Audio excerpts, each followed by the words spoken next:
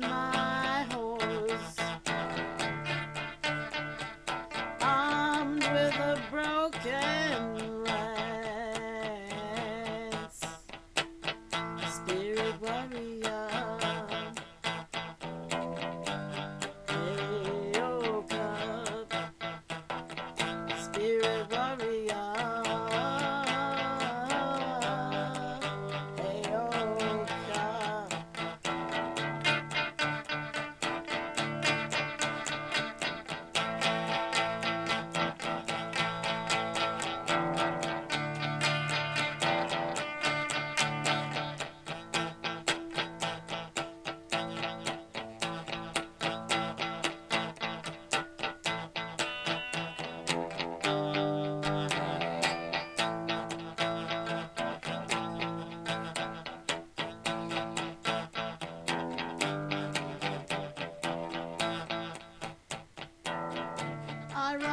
battle with my hands tied, sitting backwards on my horse.